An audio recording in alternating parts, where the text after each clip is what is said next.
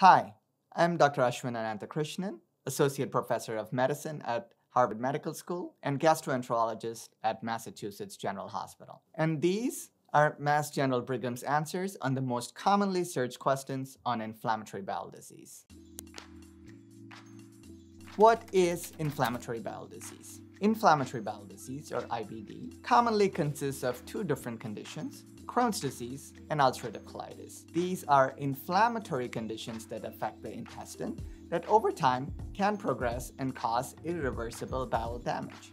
Now, inflammatory bowel disease, or IBD, is not to be confused with other common, probably more common gastrointestinal conditions that you may have heard of, including IBS or irritable bowel syndrome. The main difference between IBS and IBD is that IBS, while it causes symptoms that are similar to IBD, is not due to inflammation in the bowel and consequently does not result in permanent bowel damage, though the symptoms themselves can be very disabling. How would I know if I have inflammatory bowel disease? IBD can present with a number of symptoms diarrhea, abdominal pain, rectal bleeding, urgency in going to the bathroom. It can sometimes present with symptoms outside your gastrointestinal tract, which include fatigue, pain and swelling in your joints.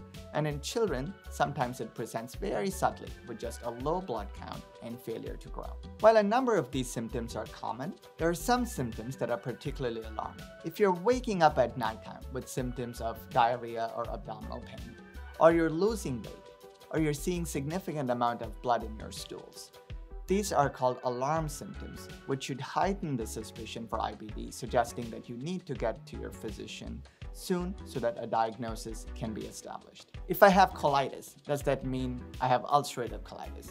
Colitis merely refers to having inflammation in the colon. It does not tell you about the cause of inflammation. And understanding the cause of inflammation is important because that will then inform how we treat it. But what is important about Crohn's colitis or ulcerative colitis is that these are conditions where the colitis, which is inflammation in the colon, is happening because of an immune reaction in your body where your immune system is targeting the lining of the colon. Early diagnosis of Crohn's disease and ulcerative colitis is important because if undertreated over long periods of time, it can cause irreversible bowel damage. Why did I get IBD? IBD develops because of four factors, genetics, environment, the microbiome, and the immune system. IBD is genetic, but genetics is only a small fraction of the disease risk. Fewer than 1 in 10 people with IBD will have an immediately affected relative. It's not that there's one factor for one person. For most people who develop IBD, it's a mix of several of these factors that then leads to chronic inflammation from the time you were born and maybe even before. Antibiotics you received as a child could alter your microbiome so that your immune system is triggered in later developing IBD. It's possible that diet you consume, both in childhood and in adulthood, can influence your risk of IBD. Sleep, stress, all these factors also play a role in both shaping the microbiome and in guiding how your immune system responds to those microbial triggers. And so they all can influence your likelihood of developing IBD in adulthood. How do we treat IBD? For patients with very mild inflammation, medications that are designed to resolve the inflammation in just the colon or the small intestine may be sufficient to treat it. For people with moderate to severe inflammation, they often need medications that act on the immune system side of things and dampen the overactive immune response that is causing damage to your intestine.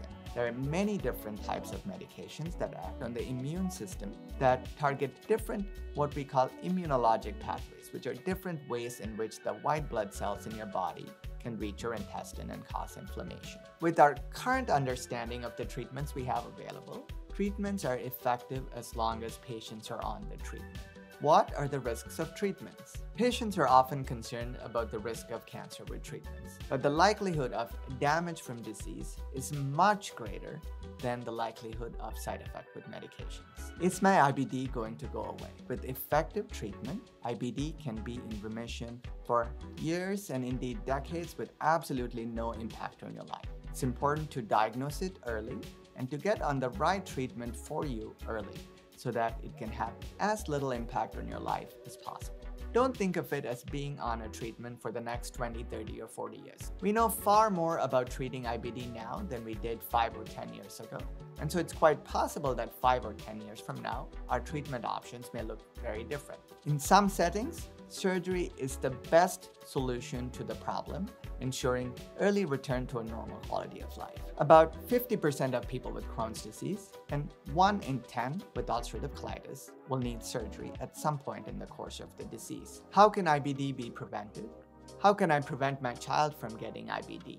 Even with an affected parent, the likelihood that the child has IBD is less than 1 in 10. While there haven't been any studies on prevention of IBD, there are a number of things that you can do that may reduce your risk. Avoiding smoking, ensuring a Mediterranean style diet, particularly a diet that is rich in fruits and vegetables, minimizing consumption of processed foods and additives, minimizing exposure to antibiotics, ensuring adequate sleep, reducing stress and anxiety. In addition, in children, breastfeeding during infancy has been shown to reduce risk of IBD.